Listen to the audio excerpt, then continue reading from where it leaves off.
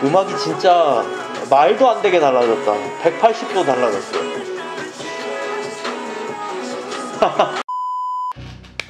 Yo, what's good, what's popping? 여러분 반갑습니다. 힙합을 사랑하시는 시청자 여러분, 구독자 여러분, 24/7 칠린입니다. What's good? I'm 24/7 chilling. Now I'm making a reaction videos for overseas hip hop, R&B, and all the black music. And I also making a street fashion live video. If you like my channel, please subscribe, like, and notification. You already know. 24/7 chilling. 제가 녹화 버튼을 안 눌러서 지금 다시 재녹화를 하고 있어요. 뭔지 아십니까? Obito의 새로운 뮤직비디오가 나왔습니다. LOST가 나왔어요. 진짜 오랜만에 Obito의 reaction video를 찍습니다. 원래 보통 이제 Obito and Seachains 이렇게 해가지고 뭐 예전에 제가 Simple Love라든가 뭐 When You Look At Me라든가 뭐 이런 이제 reaction video를 찍었죠.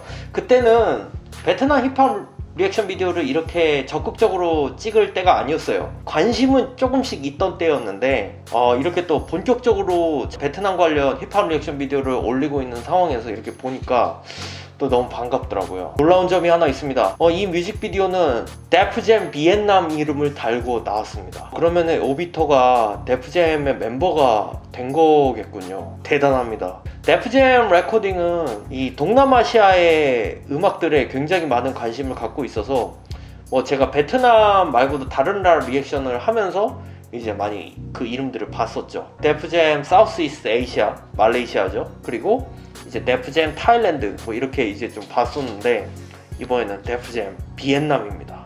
확실히 저 Def Jam 로고가 딱 있으면 뮤직비디오가 멋있어 보여. 그런 게 있어요. 저는 워낙 오래전부터 미국 힙합 음악을 들어왔던 좀 힙합 팬이기 때문에 Def Jam이라는 이런 레이블의 존재의 영향력을 저는 알고 있기 때문에 Obito가 이 곡을 작곡을 했네요. 오 대단합니다. 집에 오면서 들었는데 너무 좋더라고. 요즘 한국의 어린 래퍼들이 많이 좀 시도하려는 스타일과 많이 비슷해요. vibe가 비슷한 거겠죠. 소위 말해서 이제 미국으로 치면 Post Malone vibe가 느껴지는 이제 락힙합 약간 이런 느낌으로 생각해도 될 것 같습니다. 한국으로 치면 이제 그런 비슷한 음악을 하는 친구들이 뭐 Ash Island 같은 래퍼들이 있고 자 Obito의 LOST 비디오를 보면서 자세한 얘기를 해보도록 할게요. 저작권 문제 때문에 커팅이 좀 있는 점 양해를 부탁을 드릴게요. Yeah, okay, let's get into it. Yup, are you enjoying watching my video? Have you still not subscribed to my channel? 가사를 텍스트가 없기 때문에 자막으로 봐야 될 것 같아요. 영어 가사가 좀 많이 있어서 이해하는 데는 크게 무리는 없을 것 같습니다. 오케이. 기타 느낌으로 이렇게 둥둥둥둥 하는 부분 있죠. 아, 이거지. 아, 이런 느낌 굉장히 좋아요. 아, 이거 진짜 신경 많이 쓴 트랙이다.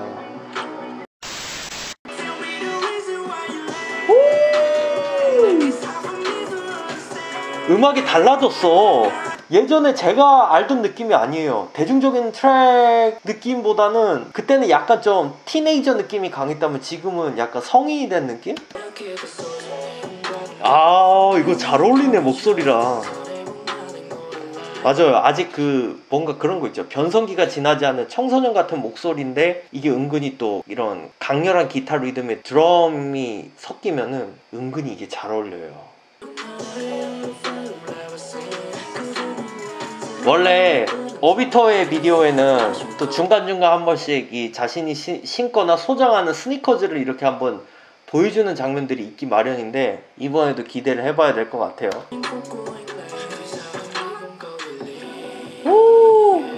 저는 이 파트가 이 곡에서 가장 좋아요.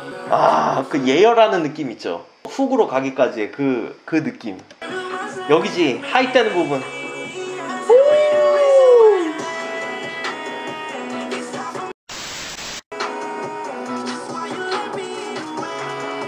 여러분 그거 아셔야 돼요. 이 트랙은 굉장히 수준이 높은 트랙이야. international한 vibe도 갖고 있고 대중적인 느낌도 갖고 있어요. 이런 트랙 뽑는 게 굉장히 어렵습니다. 베트남 힙합의 수준이 진짜 엄청 높아지는 거예요, 이게. 오. 저기 보세요. 지금 모델명이 생각이 안 나는데 가장 왼쪽에 있는 거는 이제 Jordan One Off-White Chicago죠. 지금 엄청나게 비싼 신발이고 그 옆에는 Jordan One Bred 같기도 하고 Shattered Backboard 같기도 하고 그렇고 옆에 있는 게 Turbo Green인가 Pine Green인가 그럴 것 같은데?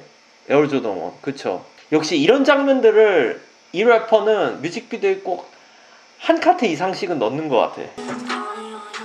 아 진짜 이제 멋있어졌다